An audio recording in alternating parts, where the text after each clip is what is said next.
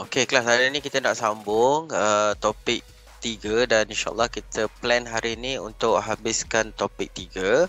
So last meeting kita dah tengok lecture 3.1a cerita pasal apa? Siapa ingat lagi? Siapa ingat last meeting kita belajar pasal apa?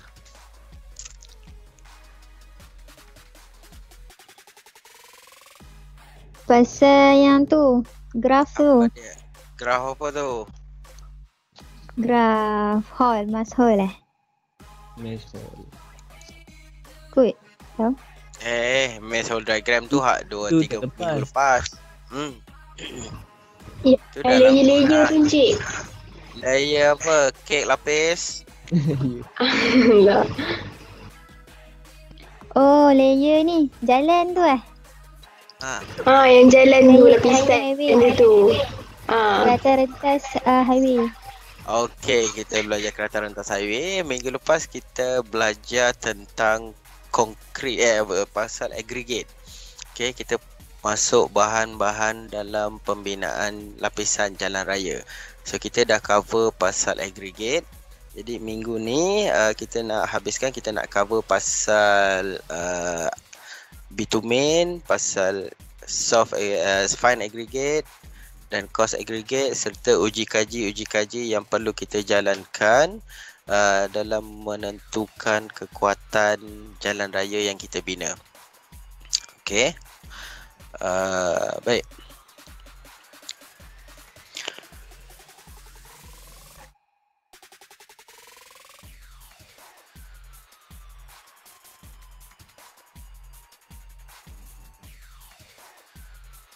Okey, kita masuk bahan-bahan dalam pembinaan lapisan jalan raya.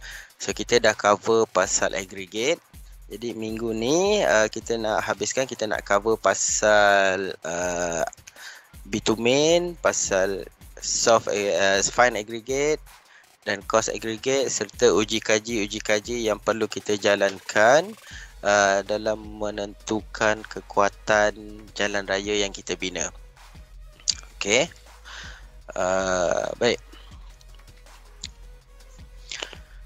So saya nak ingatkan uh, lapisan jalan raya kita terdiri daripada beberapa lapisan.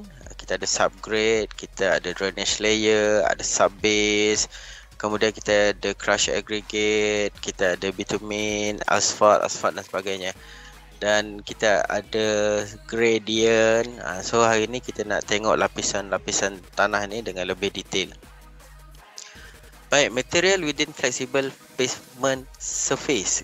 So kita nak belajar tentang flexible flexible pavement ataupun turapan boleh lentur. Turapan boleh lentur ni turapan yang biasa kita nampak kat jalan raya tu yang menggunakan bitumen. Kenapa dia dipanggil boleh lentur? Sebab bahan bitumen yang digunakan itu dia menyebabkan jalan kita ini boleh lentur. Dia bersifat seperti span.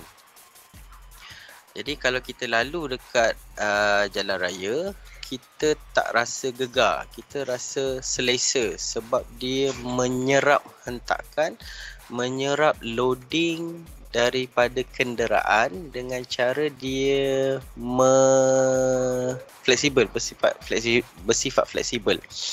Ha, sebab tu kalau kita lalu dekat jalan raya yang menggunakan bitumen ataupun jalan tar, okay, kita akan rasa lebih selesa.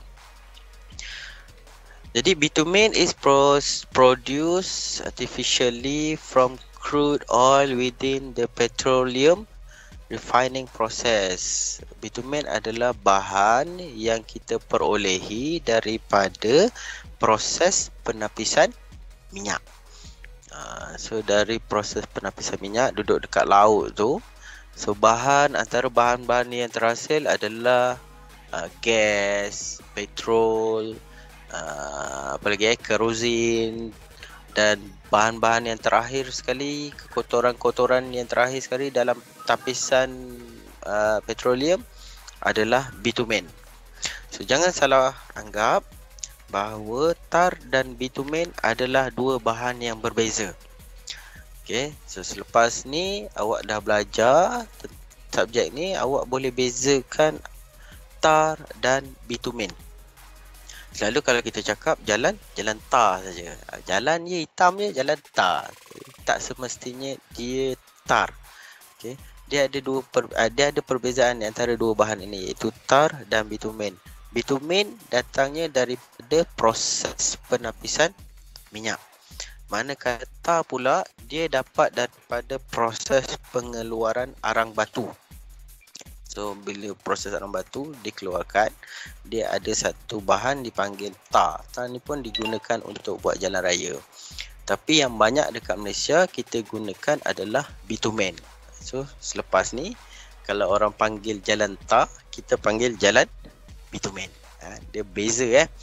Jadi bitumen ni dia boleh uh, dia bersifat boleh menyerat dua perkara iaitu perubahan bentuk dan perubahan pada temperature. Apabila jalan permukaan jalan ni panas, so dia boleh menyerap haba dan dia punya tekstur, dia punya kekuatan kelikatan dia boleh berubah. Ha, Jadi jalan akan jadi lebih lembut. Kalau di musim sejuk, kalau dekat overseas ada musim salji dan sebagainya, dia boleh uh, mengeras apabila cua- cuaca persekitaran menjadi sejuk. Jadi dia boleh sifat dia ni menyebabkan dia lebih fleksibel. Okey, bitumen juga dia bersifat uh, dia kelikatan bitumen ni menyebabkan dia boleh memegang ataupun dia boleh mengikat partikel-partikel aggregate ataupun partikel-partikel pasir. Tengok. Nanti saya nak alihkan ke tak ada.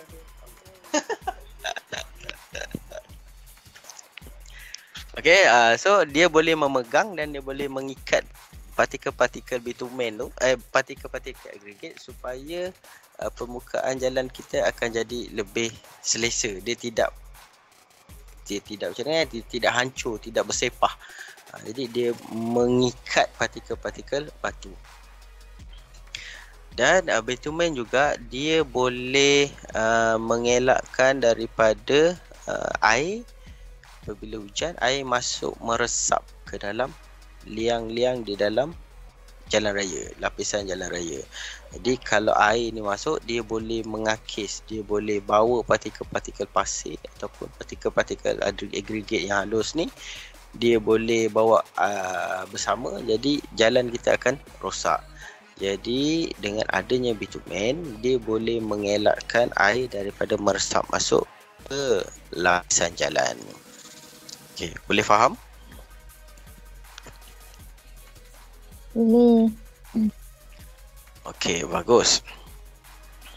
So ini tadi saya dah, dah saya dah terangkan tadi so, apa perbezaan di antara uh, tar dan bitumen. Kedua-dua ni adalah bahan pengikat tetapi dia datang daripada sumber yang berbeza. Bitumen ni dia datang daripada proses